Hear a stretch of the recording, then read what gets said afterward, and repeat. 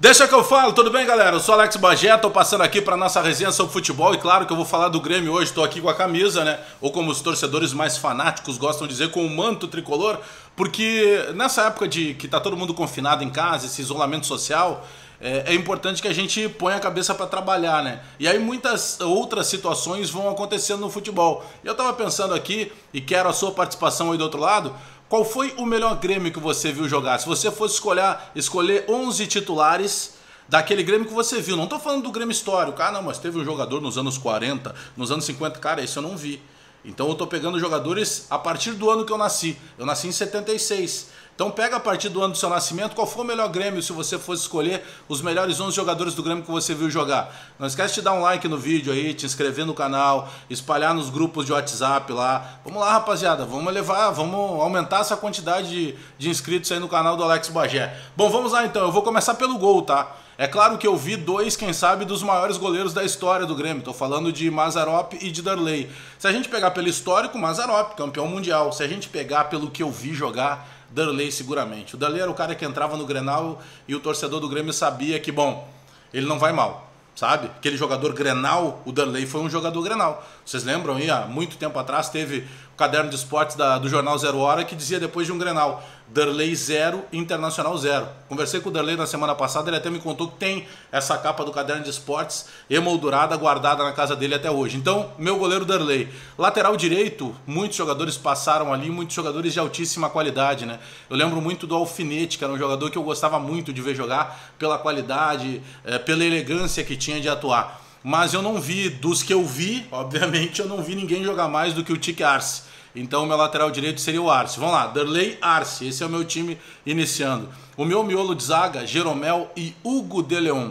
O Jeromel, incrível, Hugo de Leon, magnífico, fantástico, dois campeões de Libertadores, Hugo de Leon, inclusive, campeão do mundo. E dois é, caras que carregavam a braçadeira, que carrega, no caso do Jeromel, a braçadeira de capitão. E lateral esquerdo, não vi ninguém jogar mais dos que eu vi, repetindo, do que o meu amigo Roger Machado. Então minha zaga seria Darley, Tique Arce, Jeromel, é, Hugo de Leon e Roger.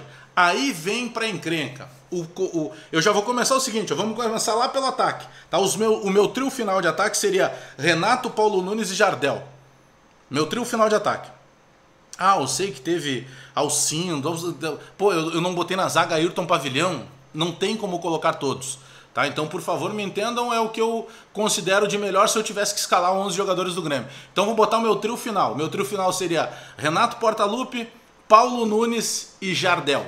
Agora, esse trio de meio campo, isso vai dar uma complicação, porque eu não tenho de três jogadores do meio campo como não deixar de colocar o Dinho dos que eu vi jogar foi monstro, sabe? É o cara que quando precisava arrepiar, arrepiava, quando precisava jogava, ele jogar, tinha uma saída de bola qualificada, diferente de muitos que pensam, ah não, o Dinho era o cara que só batia. Ah, ah, ah. O Dinho batia menos que o Luiz Carlos Goiano naquela dupla, naquela tabelinha de volantes do time do Filipão lá nos anos 90. O Dinho tinha extrema categoria para jogar, batia muito bem a longa distância na bola. Eh, eu coloco o Dinho.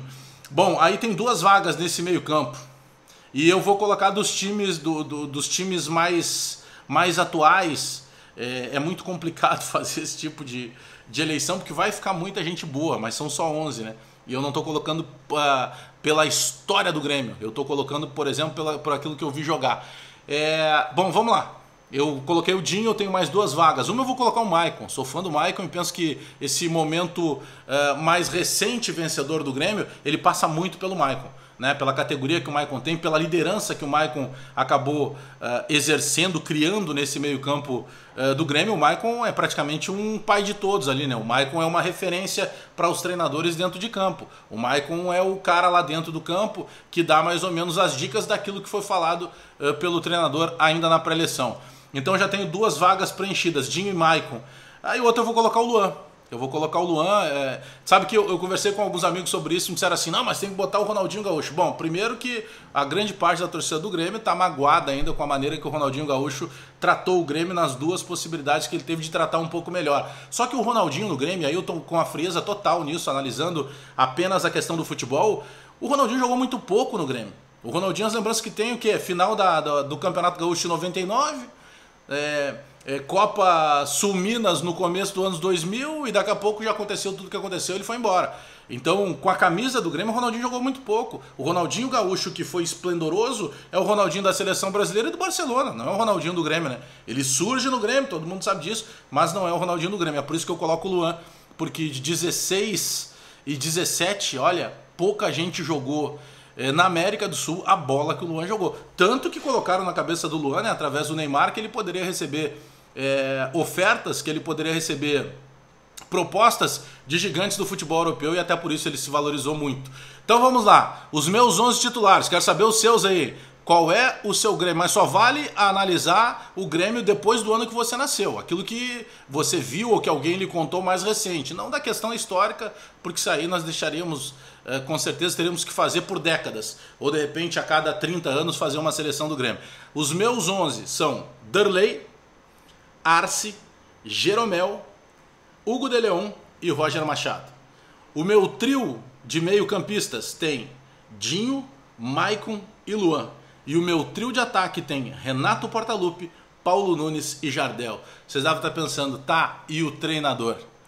Ah, e o treinador do Grêmio, dos que eu vi, Filipão, seguramente porque os anos 90 ali eu nem estava na imprensa, então poderia ser única e exclusivamente torcedor e era um Grêmio realmente que enchia de alegria, porque era um Grêmio que em 94 ganhava uma Copa do Brasil, era um Grêmio que em 95 ganhava uma Libertadores, era um Grêmio que em 96 ganhava é, um campeonato brasileiro, que já não vinha há muito tempo, e é um Grêmio que ainda no restinho de 97, que já era o Evaristo como treinador, mas ainda pegou aquele resíduo do Filipão, ganhava de novo uma Copa do Brasil. Então, repetindo, Derley, Tique Arce, Jeromel, Hugo de Leon, Roger Machado, Maicon, Dinho, Luan, Renato Portaluppi, Paulo Nunes, Jardel e o técnico Filipão. Esse para mim, o Grêmio que melhor eu vi jogar se eu fosse fazer uma seleção. Aguardo a seleção de vocês aí, vamos para a resenha, deixa que eu falo.